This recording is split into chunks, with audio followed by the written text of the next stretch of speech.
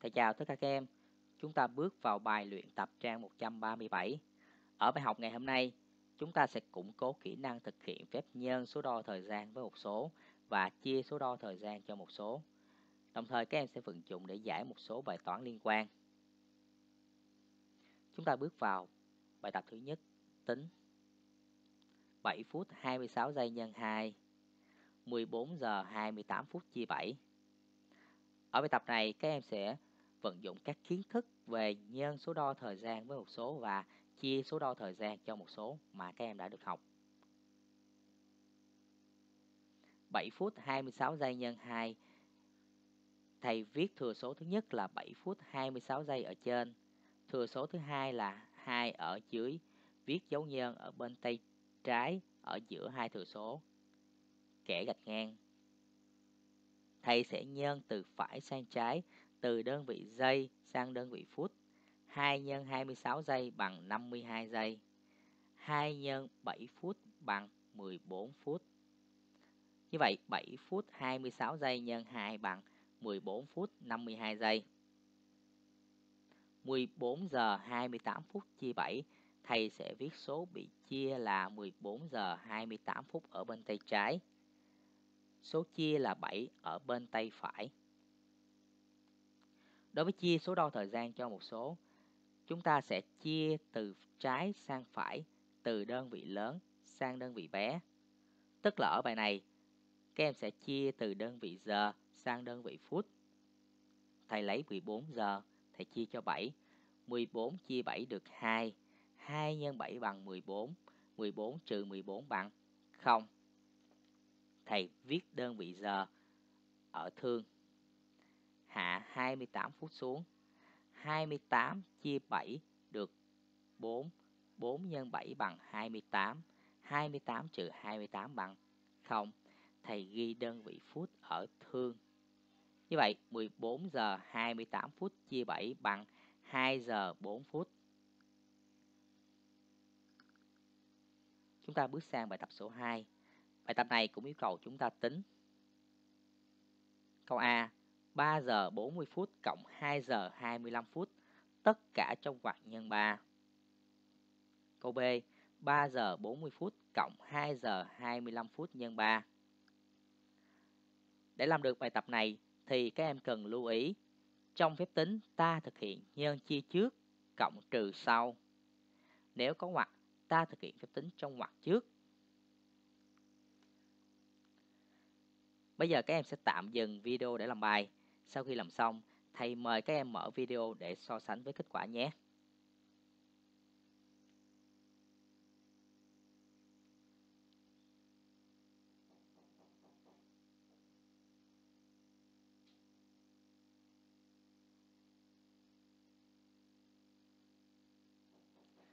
Rồi, bây giờ các em sẽ cùng so sánh kết quả mình đã làm với kết quả trên video nhé. Câu A, 3 giờ 40 phút cộng 2 giờ 25 phút, tất cả trong ngoặc nhân 3. Chúng ta có ngoặc đơn nên chúng ta sẽ thực hiện phép tính trong ngoặc đơn trước. Thầy sẽ lấy 3 giờ 40 phút cộng 2 giờ 25 phút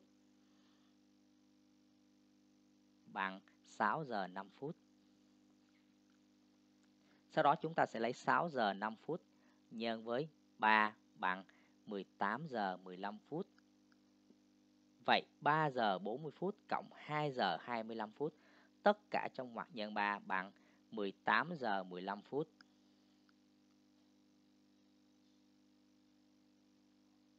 Câu B, 3 giờ 40 phút cộng 2 giờ 25 phút nhân 3. Chúng ta thực hiện theo quy tắc nhân chia trước, thầy sẽ thực hiện phép tính nhân 2 giờ 25 phút nhân 3 bằng 7 giờ 15 phút. Sau đó chúng ta sẽ lấy 3 giờ 40 phút cộng 7 giờ 15 phút bằng 10 giờ 55 phút. Vậy 3 giờ 40 phút cộng 2 giờ 25 phút nhân 3 bằng 10 giờ 55 phút.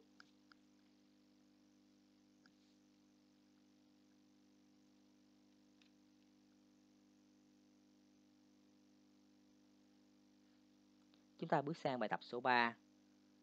Trung bình một người thợ làm xong một sản phẩm hết 1 giờ 8 phút. Lần thứ nhất, người đó làm được 7 sản phẩm. Lần thứ hai, người đó làm được 8 sản phẩm. Hỏi cả hai lần người đó phải làm trong bao nhiêu thời gian? Bài toán cho chúng ta là người thợ đó làm một sản phẩm hết 1 giờ 8 phút. Lần thứ nhất, người đó làm được 7 sản phẩm. Lần thứ hai, người đó làm được 8 sản phẩm. Hỏi cả hai lần người đó phải làm trong bao nhiêu thời gian? Ở bài tập này thì các em cũng tạm dừng video để cùng làm bài.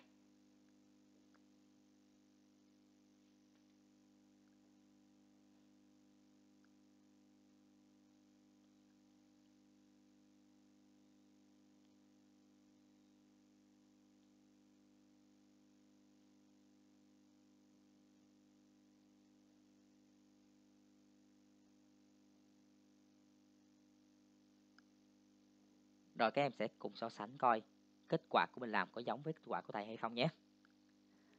Ở bài này thầy sẽ hướng dẫn cho các em hai cách giải. Các em xem bài làm của mình giống với cách nào của thầy.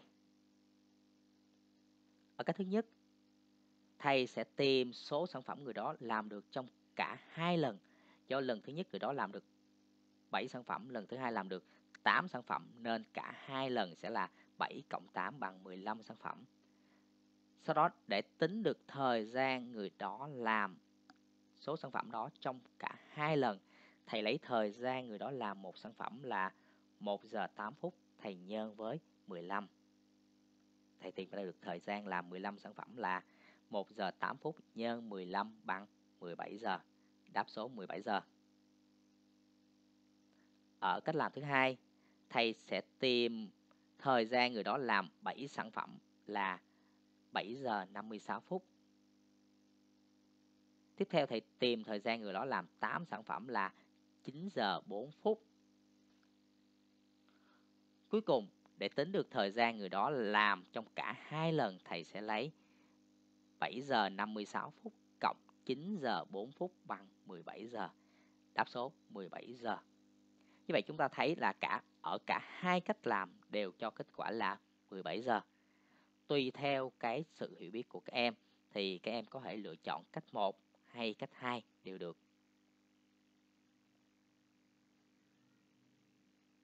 Chúng ta bước sang bài tập số 4.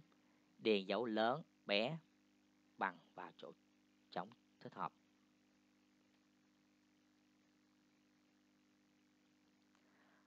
Ở bài so sánh thứ nhất 4,5 giờ so sánh với 4 giờ 5 phút. Ta thấy phẩy 5 tức là một nửa 4,5 giờ tức là 4 giờ rưỡi thì các em sẽ đổi ra được là 4 giờ 30 phút. 4 giờ 30 phút lớn hơn 4 giờ 5 phút. Vậy 4,5 giờ lớn hơn 4 giờ 5 phút. Ở bài so sánh thứ hai thầy sẽ thực hiện phép trừ 8 giờ 16 phút, trừ 1 giờ 25 phút và ra kết quả là 6 giờ 51 phút. Sau đó thầy thực hiện phép nhân 2 giờ 15 phút nhân 3 bằng 6 giờ 51 phút. Ở cả hai phép tính đều cho ra kết quả là 6 giờ 54 51 phút. Vậy 8 giờ 16 phút trừ 1 giờ 25 phút bằng 2 giờ 17 phút nhân 3. Ở bài so sánh thứ 3, thầy thực hiện phép chia 26 giờ 25 phút chia 5 bằng 5 giờ 17 phút. 2 giờ 40 phút cộng 2 giờ 45 phút bằng 5 giờ 25 phút. Ta thấy 5 giờ 17 phút bé hơn 5 giờ 25 phút. Vậy 26 giờ 25 phút chia 5 bé hơn 2 giờ 40 phút cộng 2 giờ 45 phút.